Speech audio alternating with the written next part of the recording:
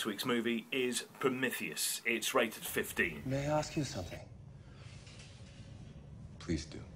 How far would you go to get what you came all this way for? Your answers. What would you be willing to do? Anything and everything. Now, if you're wanting blood and guts and gore and aliens, this is not the film for you.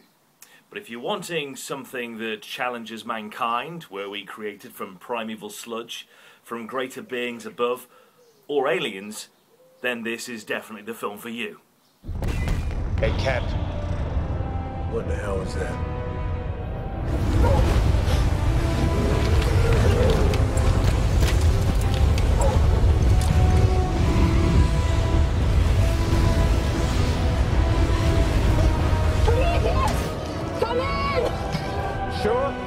Is that you copy?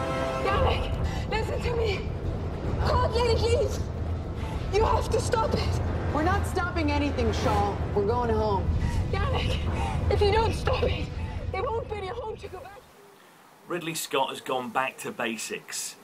His first and foremost is the storyline, and then everything else just flows along with it. Uh, Prometheus, by the way, is the name of the ship, and it's set just before Alien.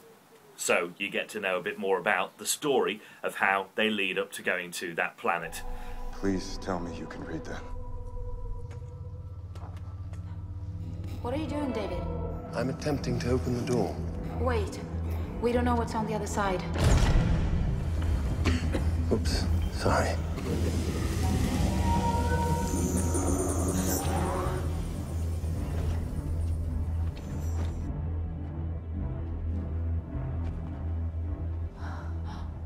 remarkably human.